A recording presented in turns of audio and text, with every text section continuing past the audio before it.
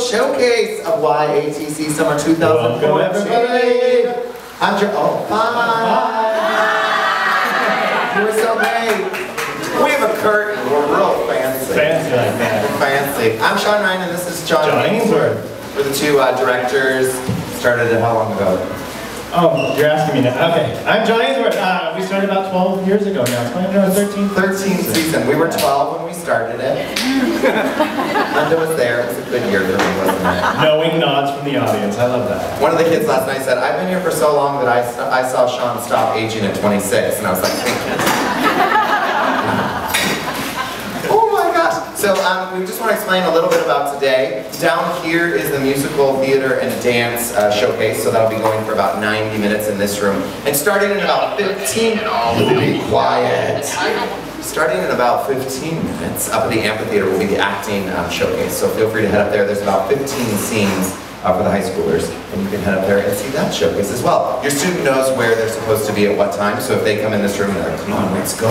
Just wait until the act that you're watching is done. Don't stand up during cast along We've been learning this this session also to, to be very good actors. You also need to be very good audience members. So they've been learning how to nod knowingly. Yes. Instead Active of having like active listening, instead of having what we call dead face. That's for teachers and parents alike. So feel free to bring that one home. And if you have any problems with them uh, afterwards at home, okay, students should be showing what we learned this week. Ready? Eye contact. Yes, it's amazing. Try it at home. They're quiet, they're completely silent, and they look at you.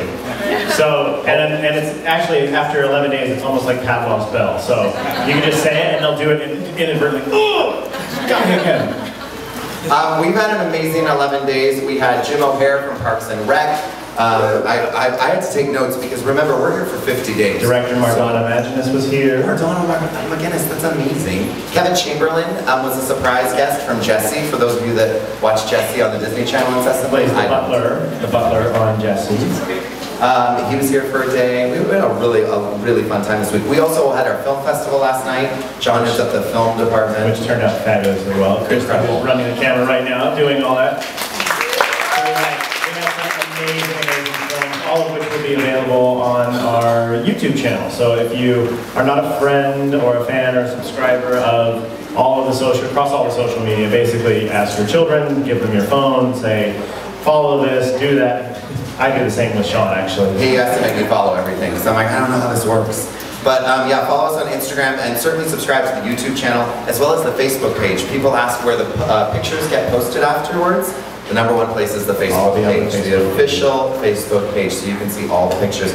If you don't see things in the next two or three days, know that it's because we're knee deep in a margarita somewhere. and, uh, and we will get to it ASAP. We have two more sessions this summer. Um, one of the exciting things uh, about the rest of our summer, I will let Joan Ainsworth tell you, but we have uh, session three still and session four, and then our winter camp. For those of you that have not gotten the chance to experience winter camp yet, maybe you're a new family to YATC, we have close to 400 campers over um, these summer months, and we only have 120 spots in our winter camp.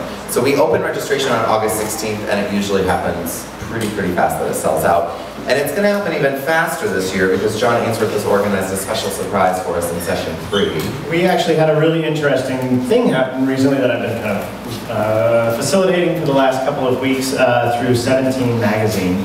Um, they're actually going to be sending a former camper who is now a YouTube celebrity, Megan uh, Ranks. She goes by the YouTube name Megan Rosette. She is known for doing a, she's got very, very wonderful content creation, very child-appropriate content creation for YouTube. Um, but it, she's uh, gone on to be quite the celebrity. She's got almost 1 million subscribers on YouTube. Um, but she's going to be coming back to be a camp counselor. And they're sending a crew from 17.com to do a docu-series about the Young Actors Theater Camp. So, yeah, seen for for. So, yeah.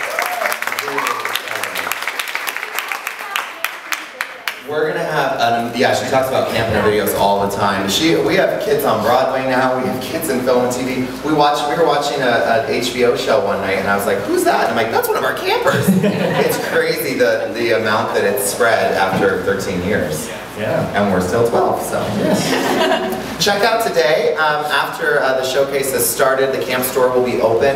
We do have a lost and found table out of the picnic areas. We tell the kids in the morning, but we'll tell parents too. We just simply take everything from Lost and Found and put it into a big bin, and we hope to get to it sometime around August 13th.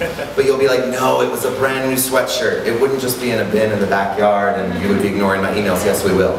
Because we have 200 more campers this summer that will Coming, be yes. here. And if you don't believe that we work 7 a.m. to 9.30 p.m. every day, come visit us for a day. It is amazing work, and it's probably the most gratifying work I've ever done. And, and we're working it as well as all of the staff who are here. So if you see the staff members, if you see someone wearing a t-shirt, you know, a, a staff member has a, a- well, I, I used to have on my name tag, um, but they have on a name tag, please just look at them, give them a pat on the back and say, great job, and enjoy their time off, because they've been working exactly the same amount of time. I mean, literally, getting up at, getting campers uh, up at 7 a.m. Yeah, at 9.30, we get to go to our condo and go to bed. At 9.30, the counselors have Have to, to go, go- back to sleep with the kids in the cabins. Yeah, so. And then they get up and do it all over again. I'm like, it's like a 24-hour day, a 24-hour day job. It's amazing.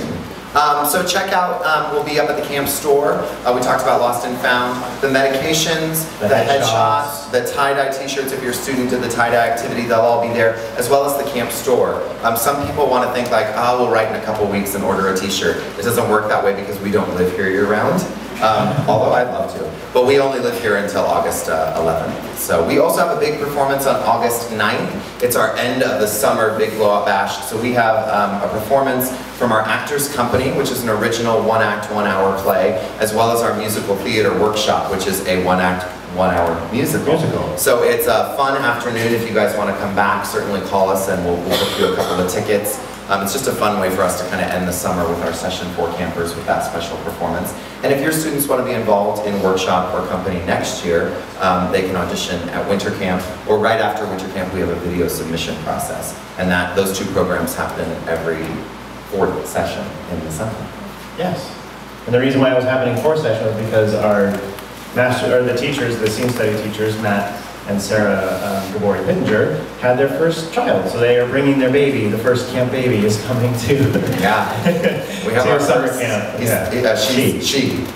She's delightful. She's four months or four years. We don't know.